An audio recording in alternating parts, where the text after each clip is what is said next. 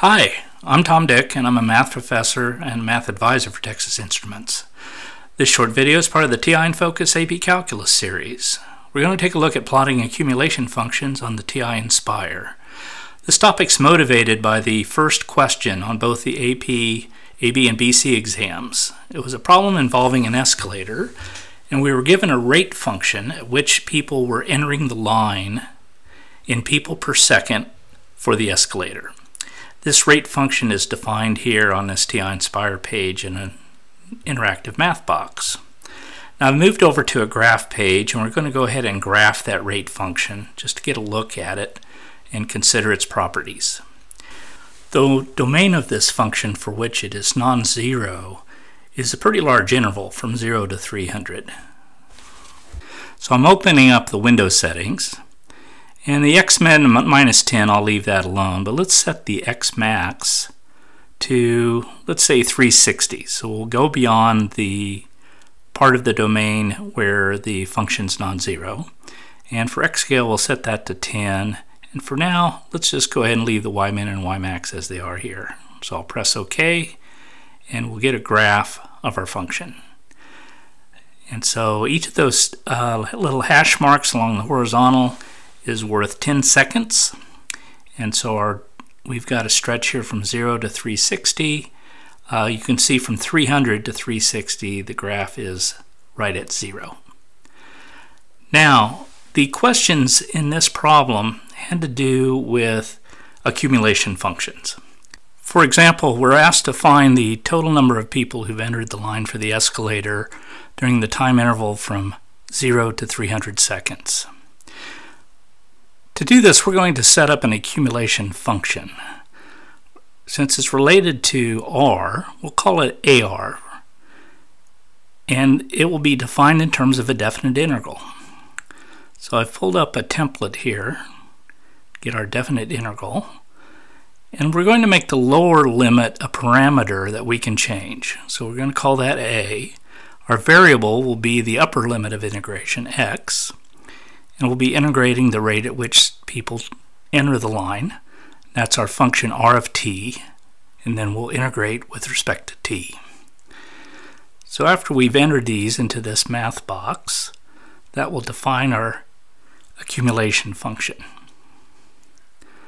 Here we go, and that's done.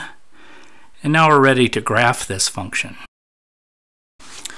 So in F2, we'll enter our accumulation function, AR of x. And as soon as we've entered that, notice that what happens is we're prompted and asked if we'd like to create a slider for that lower limit of integration A. We'll accept the invitation, and now we see the slider's been set up.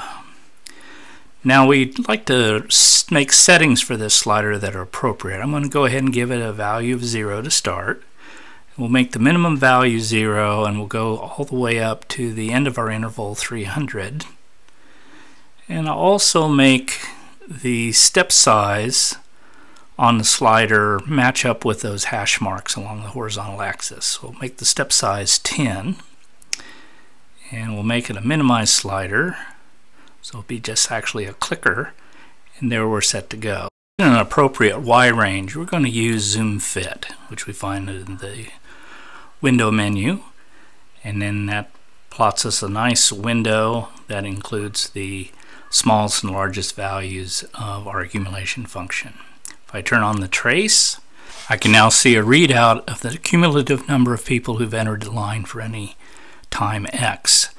Our answer will be for x equal 300. So let's jump out to that value and see our answer of 270. Now suppose we wanted to know the number of people who entered the line from x equal 60 seconds to x equal 300 seconds. We can control that now by setting our lower limit of integration, a, to 60. So I'm incrementing a to 60. And notice the effect on the graph. It's lowering it. That makes sense because the difference between these two graphs is simply the number of people who've entered the line between 0 and 60 seconds. Both of these accumulation functions are antiderivatives of our original rate function, so they can only differ by the, a constant, and that constant is the number of people who entered the line from 0 to 60 seconds. Now, if I trace, I can see that at x equal 300, there's 226 people who've entered the line. Now, that's about 44 less people than the 270 we got for our first answer. Let's do a little check here. I've gone to another page. I want to actually find the integral from 0 to 60 of our rate function and see if that accounts for those 44 people. So I integrate from 0 to 60 of r of t dt and our answer should be approximately 44. And there it is, 43.5 something. Okay. Now, in our free response question, we are also asked to find the total number of people in the line, given that there were, at the beginning, 20 people in line, and people were also leaving the line at a constant rate of 0.7 people per second. To answer this question, first thing I'm going to want to do is to restore my accumulation function to its original lower limit of integration, a equals 0.